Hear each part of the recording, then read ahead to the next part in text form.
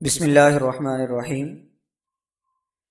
हमारा आज का मौजू इंटर पार्ट वन, सबक नंबर तीन, सर सैद के अखलाक वसाइल का खुलासा।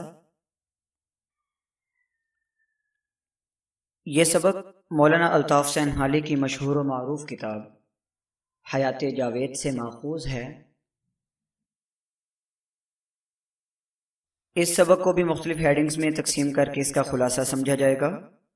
और इससे कबल बताया जा चुका है कि पेपर पॉइंट ऑफ़ व्यू से खुलासे में हेडिंग बनाना दुरुस्त नहीं। हेडिंग बनाने का मकसद सिर्फ़ और सिर्फ़ अहम निकात को जहन नशीन करना है।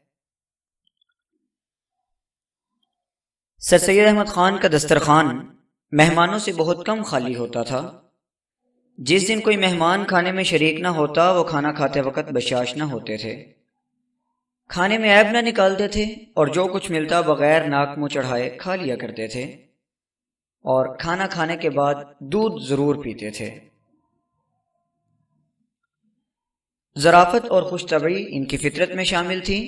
बात करते हुए कोई लतीफ़ा या शोखी उनको सूझ जाती तो खा कितनी ही शर्म हिजाब की बात होती, वो कहे बगैर न रहते थे। इब्तदा से ही उनको मुतालिया की आदत थी।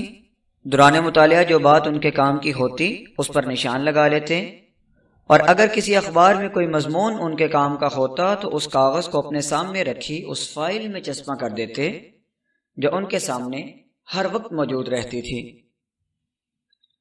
खतूत का जवाब देने में आप नहायत फयास थे। इसके अलावा मेहनत और जफाकशी भी आपके ख़ास औसाफ में से थी। आपकी गैर मामूली जहानत, आपकी दिमागी मेहनत ही का नतीजा थी। खुतबात अहमदिया लिखने में आपने डेढ़ बरस सख्त मेहनत की, जिसकी वजह से आपके पाँव में वर्म आ गया, जो मौत तक साथ रहा। साइंटिफिक सोसाइटी की तमीर के दौरान भी आप ठंडी हवा और पंखा छोड़कर सख्त गर्मी में काम की निगरानी किया करते थे। अब काम से फारिग होते थे, हँसी और दिल लगी से खुद को और दोस्तों को महसूस करते थे। आप हर छोटे बड़े से हँसी मज़ाक करते, यही वजह है कि बच्चे कभी उनसे वहशत महसूस न करते थे।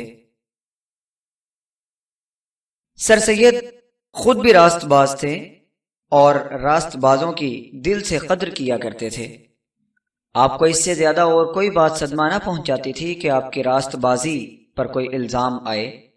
चुनाचे आप हक गोई को अपना दीन और ईमान समझते थे। आपको अपने कुंबे से बेहद लगाव था। यही वजह है कि भाई की मौत का सदमा आपको 20 साल बाद भी नहीं भूला।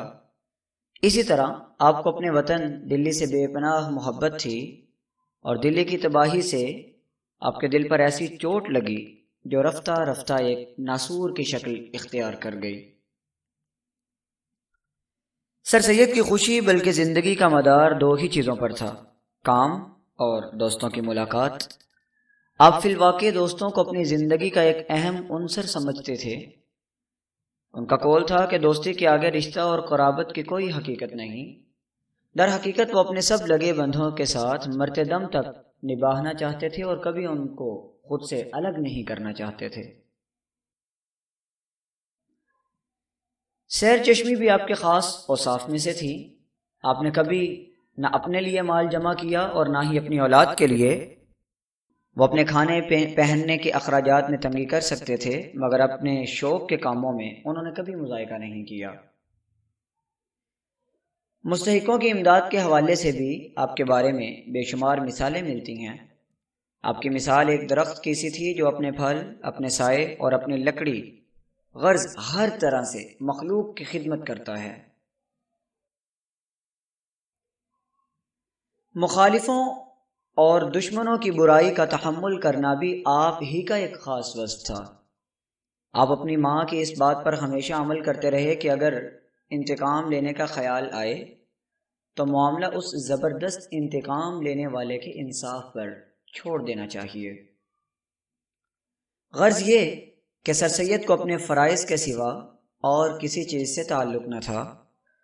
मुसलमानों की जानब से अक्सर उनको मायूसी का सामना भी करना पड़ा, जिसका अफसोस वो अक्सर किया भी करते थे। मगर इसके बावजूद मुसलमानों को उनका खोया हुआ मकाम दिलाने के लिए उनकी कोशिशें आखिरी दम तक जारी रहीं और इसी उम्मीद मौहूम पर आपने अपना तन, मन, धन सब कुछ कुर्बान कर दिया।